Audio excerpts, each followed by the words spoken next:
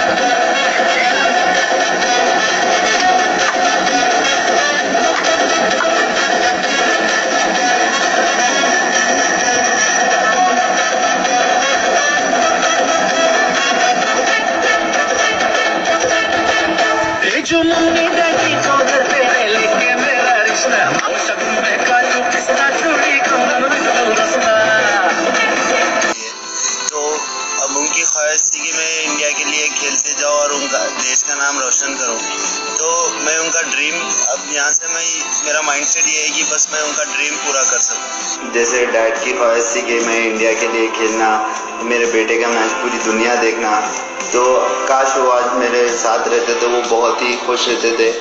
But उनकी दुआ थी जो आज मैं पाँच विकेट लिया मैं बहुत मतलब स्पीचलेस हूँ मैं ये परफॉर्मेंस के बारे में मतलब कुछ बोल नहीं सकता।